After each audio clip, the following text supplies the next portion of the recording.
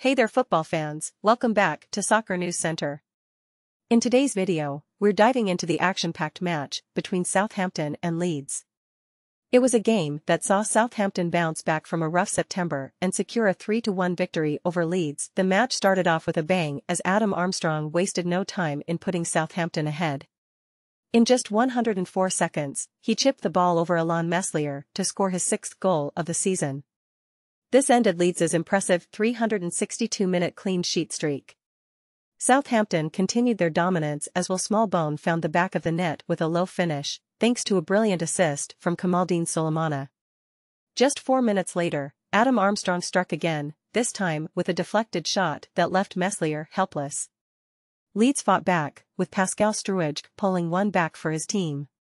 But Southampton held on to end their winless run and put a stop to Leeds' unbeaten streak. Kamaldeen Sulemana was a standout player in the first half, reminding fans of the great Sadio Mane. He played a crucial role in both of Southampton's goals, providing an assist for Smallbone's goal and setting up Adam Armstrong for his second. Leeds made a spirited attempt at a comeback in the second half, with chances from Daniel James and Joel Piroe.